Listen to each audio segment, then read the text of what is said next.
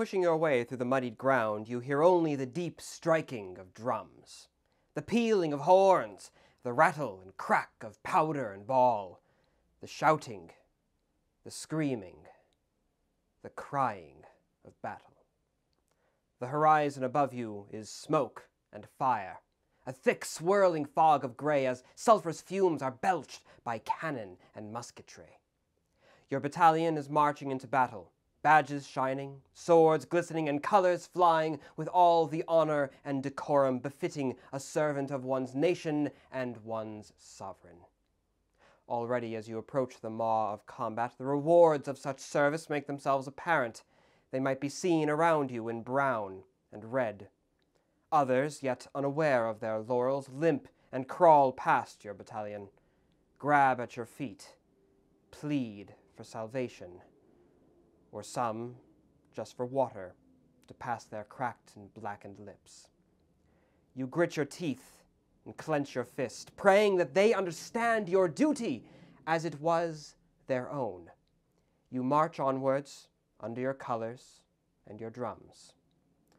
Soon enough, your battalion enters more firmly the pandemonium, and battle is commenced. Temporal sense collapses as you loose ball after ball into invisible lines of enemy and receive amply that heated stuff in turn. At a point, a cry rings out. A flash of steel shimmers against fouling and smoke. The very ground begins to tremble as a charge is commenced. It is during this great thrust that you stumble, feeling as though a carpenter's hammer has forced back your leg. On attempting another step, the pain shoots through your, your muscles fail, and you fall to the ground. As the battalion passes you on, your fellows stepping round you, you discover that you received a ball to the leg, seated most firmly amidst torn wool and rent flesh. Looking up, you see the backs of your comrades fading into the smog, the martial sound of drums and horns fading. Now you are left surrounded by that which was earlier passed by the groaning, the screaming, and the crying. And you ask yourself, for the first time perhaps in true earnest, what happens next? Stepping back now from our drama, this is a very common question for those who are interested in 18th century military history. Uh, the narrative of the military hospital uh, and the grim fate which might meet wounded soldiers there is one just as well known as that of the battle which would send the soldiers there to start with. Uh, but what is often less discussed is the space in between. After a soldier is shot or otherwise wounded in a linear battle, what happens to them? How do they get to that hospital?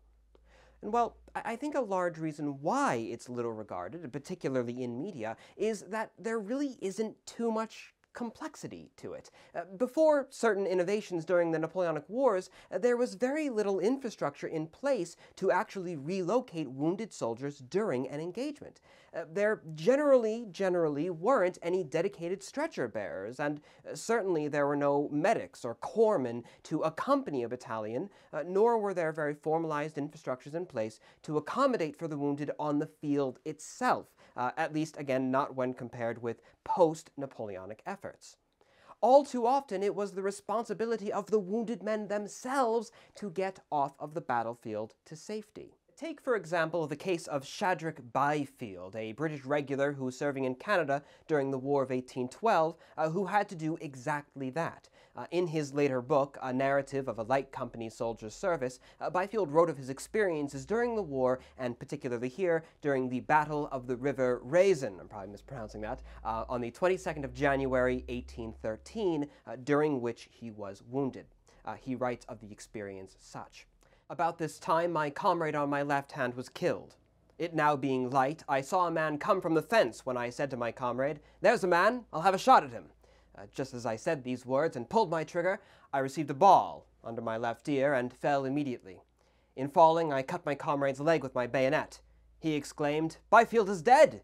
To which I replied, I believe I be. And I thought to myself, Is this death, or how men do die? As soon as I had recovered, so as to raise my head from the ground, I crept away upon my hands and knees, and saw a sergeant in the rear, who said, Byfield, shall I take you to a doctor? I said, Never mind me, go back, help the men. Uh, I got to a place where the doctor was, who, when it came my turn to be dressed, put a plaster on my neck and ordered me to go to a barn, uh, which was appointed for the reception of the wounded. As I was going, the blood flowed so freely as to force off the plaster. I now saw a man between the woods and asked him what he did there. He told me he was wounded in his leg. I observed to him that had I not been wounded worse than he was, I should go back, helping the men. I then asked him to give me a pocket handkerchief to tie around my neck to stop the blood. He replied, I've not got one. I said, If I don't get something, I shall bleed to death. He immediately tore off the tail of his shirt and wound it round my neck. I then got to the barn and lay down with my fellow sufferers. I had not been there long before the doctor came and said, My dear fellows, you that can had better get away, for our men are being terribly cut up, and I fear we shall be all taken. He rode away, but soon returned, saying, My dear fellows, we've taken them all prisoners. At which news I exclaimed, being quite overjoyed, I don't mind about my wounds, since that's the case. Uh, so, a few things to unpack here. Uh, firstly, of course, that Byfield, being wounded, brings himself to the hospital. Now, granted, he was offered aid by his sergeant, and we'll talk about that kind of thing a bit more later on, because it did uh, re- relatively regularly happen, but also that he did turn this singular offer down and made his way to hospital alone.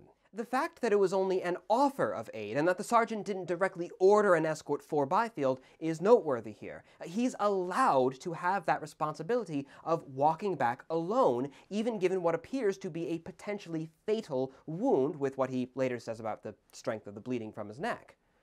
In a more modern practice, you can imagine that a lot of NCOs and officers or medical staff would be far less accommodating of Byfield's uh, fierce independence here. They, they probably wouldn't let him actually go off on his own. They'd probably send someone along like, no, this is ridiculous. He's going to die halfway there. Hey, you, uh, Thompson, go with him. You know, see that he gets to hospital all right. Uh, similarly, after his wound is apparently rather poorly dressed, uh, the regimental surgeon just sends him off to a different location, uh, again alone without any medical accompaniment. And because of this, when the plaster is forced off, Byfield is forced to turn to a fellow enlisted for aid. Uh, incidentally, uh, that other man was also wounded in the leg and is staying in the woods, uh, though we don't get a sense that he's very badly hurt. Uh, had the other wounded man not been there, very conveniently, uh, Byfield may have just bled out on his way back to the doctor, or at least that's what we're led to believe if we trust his assessment of just how bad that wound was.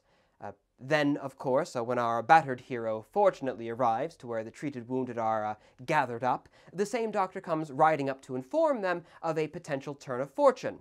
Uh, he doesn't arrange for the wounded to be transported away. He doesn't have the means to do so, odds are, uh, but rather he encourages those that are able to flee to do so. Uh, thankfully, of course, it turns out to be a false alarm. Here's hoping that no deeply wounded men uh, did decide, oh boy, I better get out of here, started hightailing it, and then died along the route before the doctor comes back and says, oh, never mind, guys, don't worry, we, we won. But in any case, uh, overall, from our modern perspective, a sense is gotten that this medical care is highly irregular, so to say. Uh, again, that there are very few formalized systems in place to actually transport and care for the wounded when compared to the modern, uh, you know, field of combat medicine. Uh, but, of course, we would also be well to note that despite the neck being a most unfortunate place to get shot, that Byfield still doesn't seem that terribly hurt here. At the very least, he writes this account in such a way that he seems uh, more than capable of moving himself to the rear uh, with full faculty of his senses uh, and then full faculty as well of all of his limbs. So he is, you know, uh, while it's not necessarily the best idea for him to be moving himself alone to the hospital, he is physically capable of doing so uh, without that much of a stretch of the imagination, if that makes any sense. What if that's not necessarily the case? Might he still be expected to move himself to the hospital if he were more severely uh, impaired, so to say? Well, rather unlucky for the man himself, though fortunate for our own purposes, uh, Byfield is again wounded and a tad more severely uh, the next year during a raid on Black Rock, uh, dated the 3rd of August, 1814. And of that experience, he wrote the following. About this time, I received a musket ball through my left arm below the elbow. I went into the rear. One of my comrades, seeing that I was badly wounded, uh, cut off my belts for me and let them drop. I walked to the doctor and desired him to take my arm off. He said it might be cured without it and ordered me to go down to a boat, saying that the wounded men were to cross the river and they, the doctors, would soon follow. Byfield's arm was indeed later removed by amputation. Um, Receiving limited aid from his comrades during the battle in the form of his belting being cut off, Byfield is again here making his way independently to the hospital. And there he again receives an order to move on his own to a point still further, and this time really without much at all serious medical attention. Again, we're getting a real sense here that these are irregular practices, again, at least when compared to the modern day practices. Uh, in pursuit of a case even more significant, I think we might look across the ocean to the Peninsular War in Spain and the recollections of Rifleman Harris. It was after the Battle of Vimeiro, the 21st of August in 1808, uh, that Rifleman Harris was met with the following sight. A truce I now found had been concluded, and we lay down to rest for the night. Next day was devoted to the duty of burying the dead and assisting the wounded, carrying the latter off the field into a churchyard near Vimeiro. Many of the wounded came straggling into this churchyard in search of assistance by themselves. I saw one man, faint with the loss of blood, staggering along and turned to assist him. He was severely wounded in the head, his face being completely encrusted with the blood which had flowed during the night and had now dried. One eyeball was knocked out of the socket and hung down upon his cheek not only a deeply severe wound, but a one which this unnamed man had to endure through the night before he was able, by some miracle, to make it back alone to his own army. Such long periods of waiting were also rather common, but we'll discuss that soon enough. Again, here we have a man near to fainting because of the loss of blood and to say the least, with uh, impaired eyesight, making his way back alone simply because the army was unable to get to him in enough time, as it were, and because there was not the infrastructure in place during the actual battle to bring him back to safety. I, do want to stress, however, that while many, perhaps even the majority of men who were wounded in combat during the 18th century would have faced a similarly grim situation, it wasn't always necessarily so, uh, particularly as regards to officers, of course, who are to receive preferential treatment by virtue of their objectively greater value to the army, uh, their more subjectively superior social value, uh, and as well, perhaps most significantly, I think, uh, because in many regiments of their high esteem, which the men may have held them in. So again, I want to go over to the Byfield account, uh, where, uh, once again, at the Battle of the River Raisin, he describes the significant effort which surrounding soldiers take to defend and evacuate one of their wounded officers, even going so far as to place themselves in a more dangerous forward position to do so. Quote, a field officer, I think a lieutenant colonel, fell, having received several shots, but was not killed. Four of our men advanced to defend him, one of whom took him up and carried him into the rear.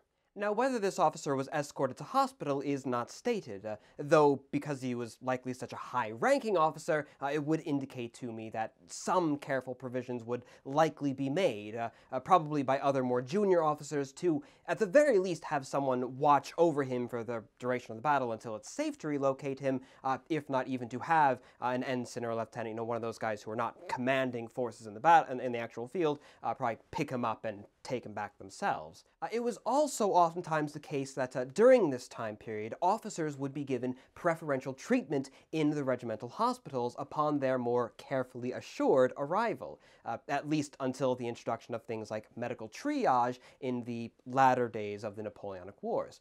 Uh, though even with the superior officer class, while you might more commonly expect them to receive that higher priority of care, uh, this still doesn't necessarily mean that there is always a wholly separate infrastructure in place to accommodate that care broadly speaking, again, there were no set individuals whose explicit role it was on the battlefield to locate and render aid unto wounded officers. Uh, the closest you might find, again, would be those officers not in an immediate command of any bodies of troops who would be uh, freed to aid men on the field uh, wherever necessary or possible. Uh, again, usually being people like ensigns and lieutenants. Uh, and in those instances where love and loyalty to one's officers happen to be uh, lacking, perhaps, beyond the appropriate measure of a well-maintained corps, well, these unofficial systems might very easily start to break down. You can imagine that if the formalized ones are able to break down, well, the more informal ones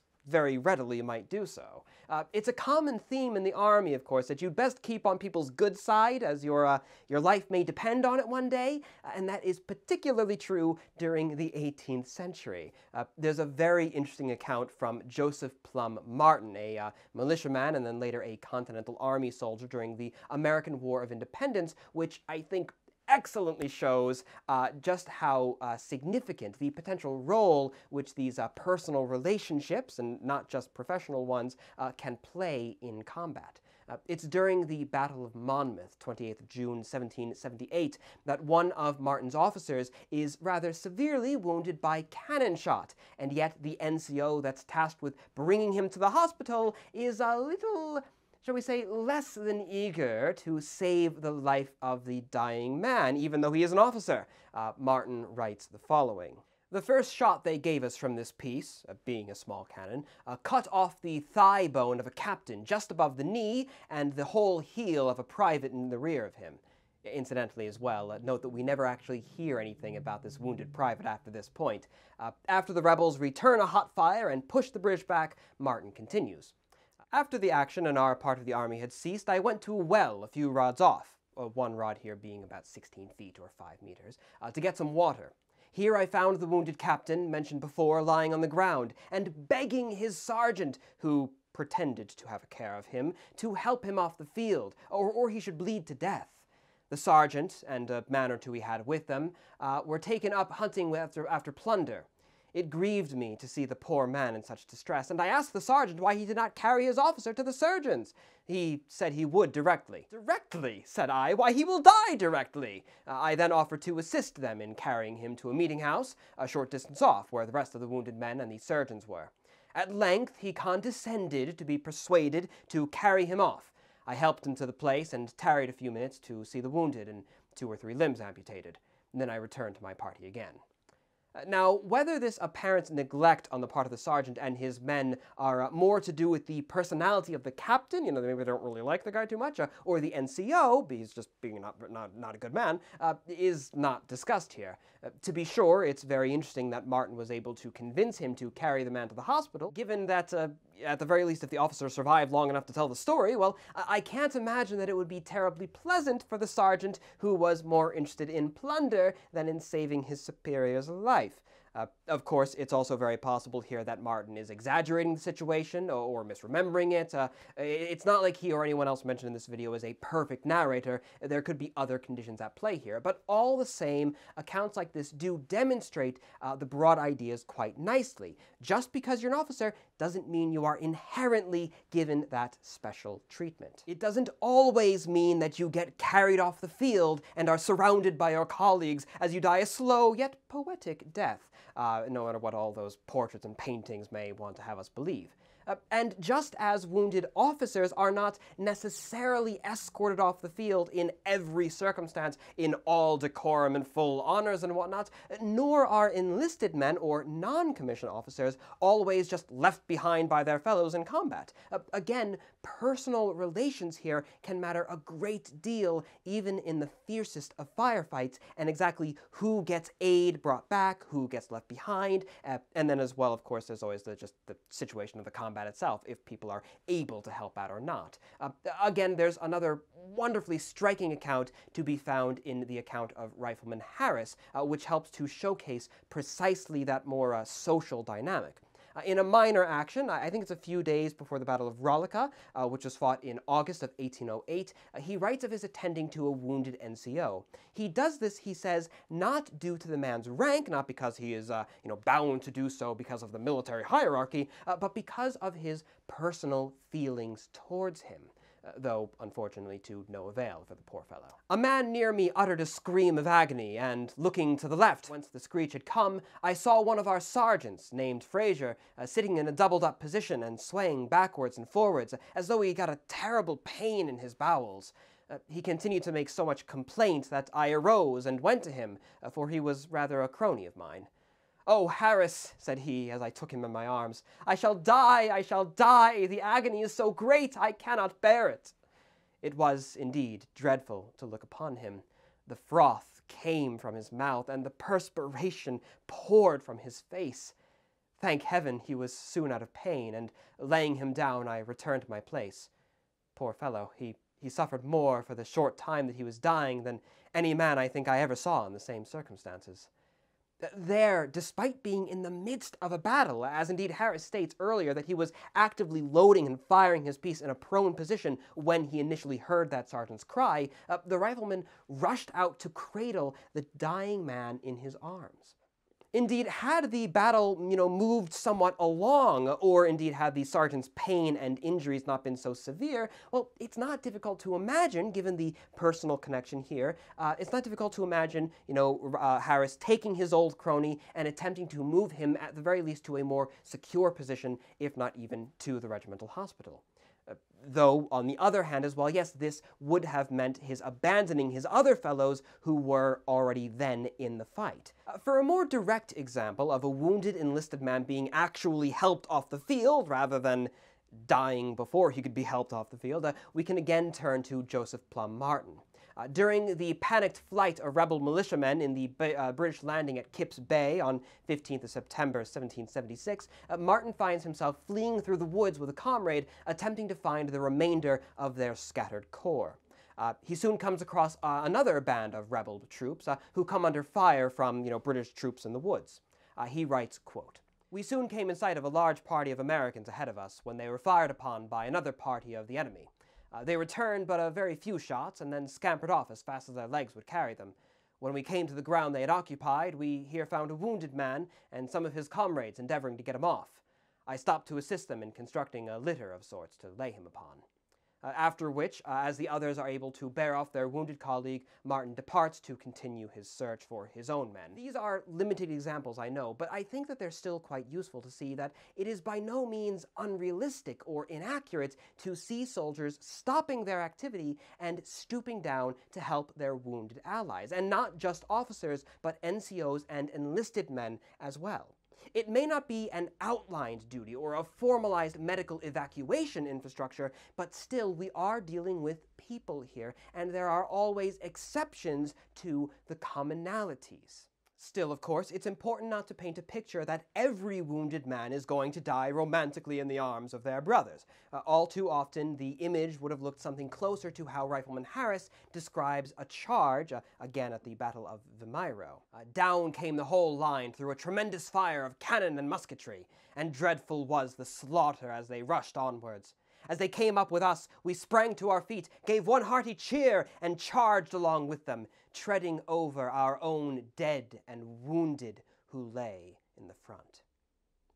There is only ever so much room to maneuver when you're fighting in dense lines, and only so much space to dance around when the, the dead and the wounded fall in dense piles on the ground.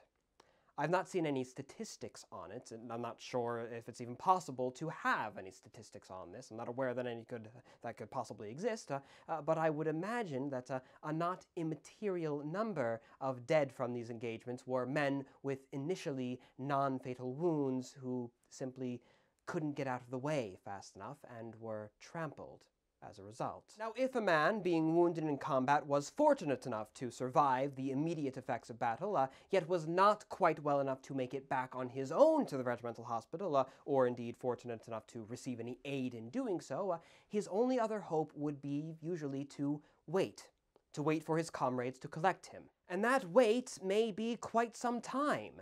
A few hours, a whole night, perhaps even days, if it ever came at all. We already saw one example of a man waiting overnight before limping his way back into camp. Another can be found in Byfield's account after a, uh, a confusing nighttime battle, where he writes, quote, A volley was then fired upon us, which killed two corporals and wounded a sergeant and several of the men.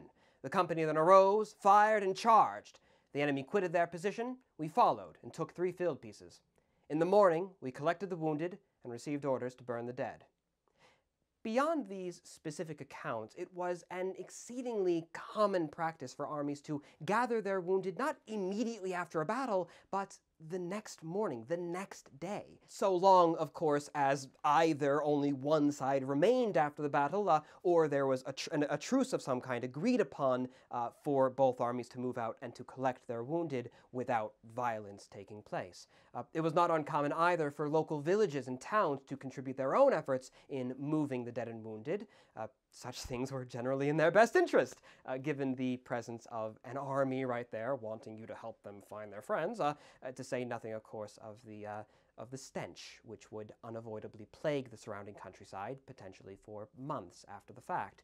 Uh, such tasks might fall even more specifically upon the pioneers of the army. Uh, these are men of individual regiments who were uh, specifically tasked with marching ahead of the main column to ensure that the roads and pathways were cleared for it to march. Uh, think of them as sort of like proto army engineers before the Royal Engineers and whatnot came into existence. Uh, uh, Bennett Cuthbertson, a military officer of the 18th century, in his uh, System for the Complete Interior Management and Economy of a Battalion of Infantry, uh, specifically notes that pioneers must be chosen of, quote, sober, resolute, good men uh, for precisely their role in carrying off the wounded. Uh, certainly a task which the irresolute would face with much difficulty. So, again, there may be some limited official capacity of of, of, of, wounded collection on their part of the entire affair. But the pioneers alone would, at least in any large engagement, not be sufficient on their own to carry off all the wounded. And it's going to rely again largely on, I think, pioneers to help organize efforts, but large portions of the army to go out and bring them all in alongside surrounding countryside. Uh, of course, sometimes no help would be able to come. Uh, sometimes an army's need for speed on the campaign trail is so dire that wounded men are, by necessity, left behind and, and never collected, either on the battlefield or on the march route.